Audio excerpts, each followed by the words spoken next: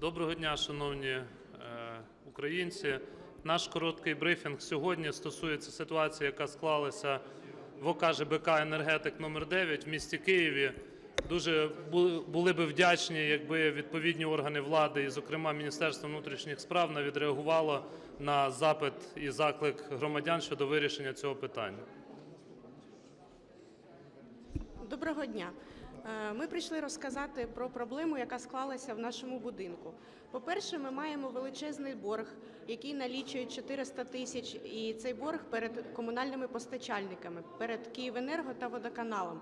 Але основне те, що він склався завдяки діяльності попередньої голови нашого кооперативу на прізвище Матвієнко Ірина Віленівна. Також існує ще одна проблема, яка стосується того, що закон про державну реєстрацію фізичних та юридичних осіб дозволяє е, шахраям постійно поновлюватися на, посадах, також е, реєструватися у приватних е, нотаріусів і як керівників ОСББ чи кооперативних будинків чи будь-яких організацій. Тому е, в нашому будинку ми переобирали неодноразово е, попередню голову, але вона постійно по підробних документах поновлювалася на посаді завдяки приватним нотаріусам. Е, На сьогоднішній день на цю людину відкрито вже два кримінальних провадження.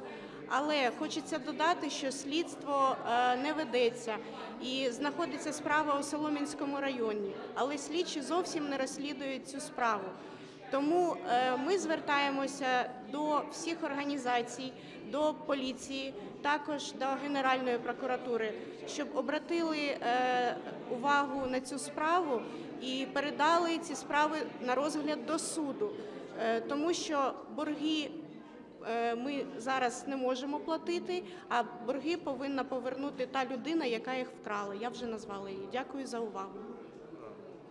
Дуже просили і пана міністра Авакова, е, звертаю увагу, е, що люди фактично обкрадені на ці півмільйона гривень, і вони змушені будуть заплатити за ці комунальні послуги вдруге.